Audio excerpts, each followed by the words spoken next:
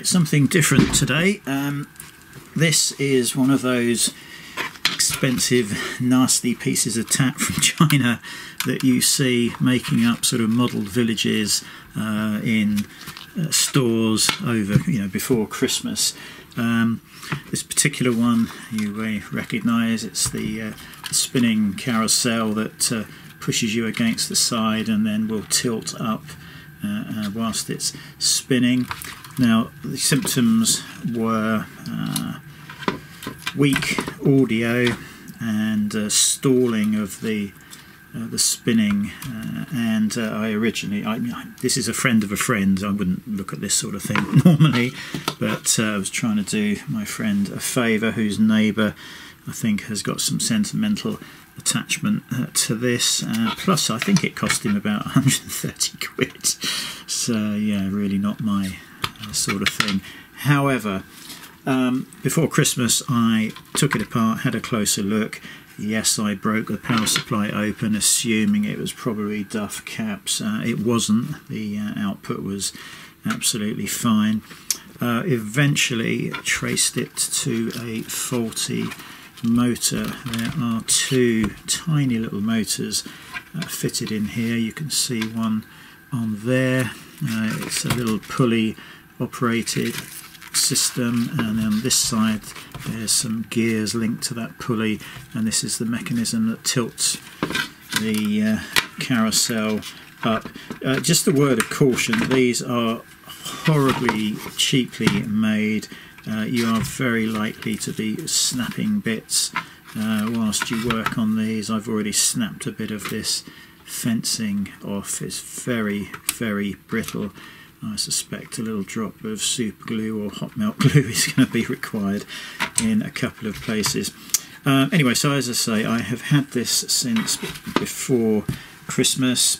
Uh, eventually managed to track down some tiny little DC motors in uh, China. I will put the links in for that. Now these have a uh, 2 mil shaft and um, I actually took the motor apart I mean, probably again before Christmas.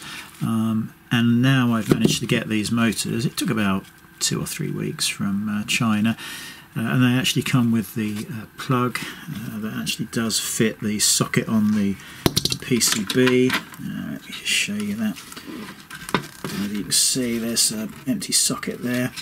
Uh, and everything's good. And then I realised that I'd taken the pulley off of the old motor, and I've no idea where I've put the bloody thing.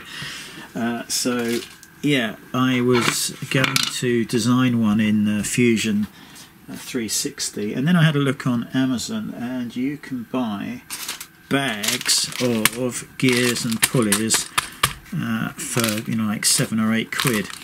Now I had these arrive earlier, um, but they are not the right size. Some of the sizes are not very clear on Amazon, but uh, so that's that. Uh, but I think the one that is going to do it is this one, because I can see gears perhaps there, which are very, very close to being the right size. Now, I just wanted to have a quick look at this. it said it came with uh, what they describe as belts. Uh, now, I'm not sure I can describe elastic bands as belts, so um, yeah, not uh, not entirely sure on that one. But we have a massive selection of gears. Well, actually, they're not gears; they're pulleys with gears, uh, all sorts of different sizes. Um, and that is bigger than 2 mil. I'm suspecting the one I need is this one here. Um, looks very similar to the size. Actually, I say that it looks. That one's got an even smaller one than that. So let's have a look.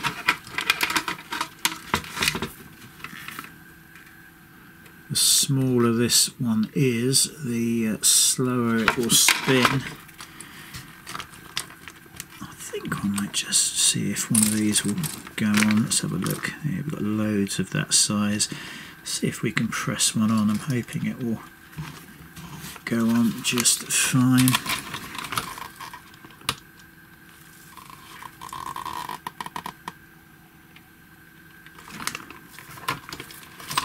Just need to press it on enough so the groove lines up with the uh, with the other piece.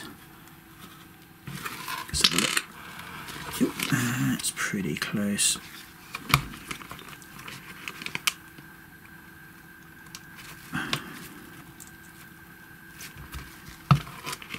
Now, the original belt may not do the job now if that is different size. Well, you know what, that is going to be absolutely fine. May even put a little blob of super glue in uh, in there. Don't think we're going to have any issues. It might need to go on just a tiny little bit more actually. Um, but the video, this video is not to uh, show the repair of this. I mean, it's it's a couple of DC motors and a wall adapter and a speaker. There is a volume control uh, here, and there's also LEDs all over the place, including uh, in here around this uh, tower here and around this bit here. Uh, but I just wanted to show you that if you ever do lose a gear, there are some uh, pretty good options on uh, on Amazon that can certainly save you a lot of faffing around in Fusion and then 3D printing that stuff out. And uh, oh, that's just fallen off of there. That we don't want to lose. Now, oh, bugger, which way around did that go? There we go. Yeah, that's it. Anyway, so what I'll do now is I'll just reassemble this and I'll probably just show it to you uh, working in a few minutes, hopefully. Okay, uh, after a lot of faffing around, um, this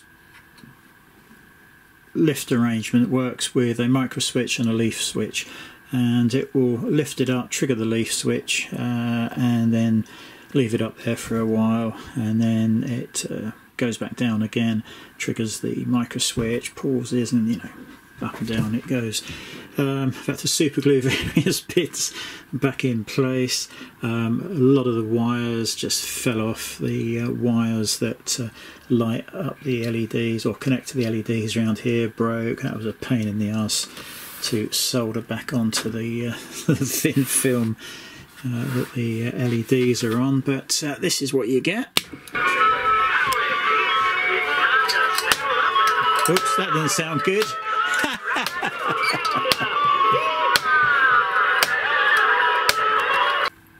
Right, back with this. So uh, I don't know whether I'll include the second clip where I actually started this up after supergluing the bloody thing back together, but it started spinning, playing the music, uh, lifted up, and was clunking away uh, because uh, during assembly another wire fell off. The uh, little switch that senses the fully up position, one of the wires had broken. They really are terrible. So I've literally had to crack this open, damaging all sorts of little bits. I might have to try and paint that yellow, um, but I've uh, saved it and uh, this time I'll show you what it's supposed to do.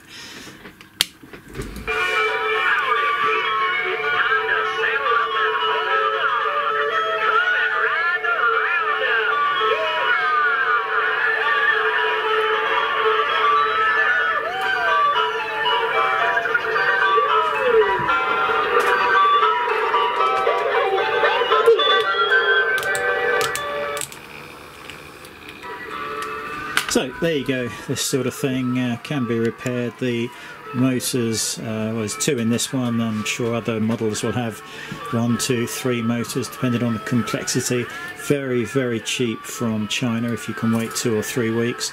Expect multiple broken wires as you uh, mess around with these uh, things and expect to do a little bit of damage uh, here and there but uh, depending on its value and whether it's got sentimental value then it may well be worth um, saving. So uh, yeah there we go. All done finally. Hopefully I won't have to uh, work on another one again.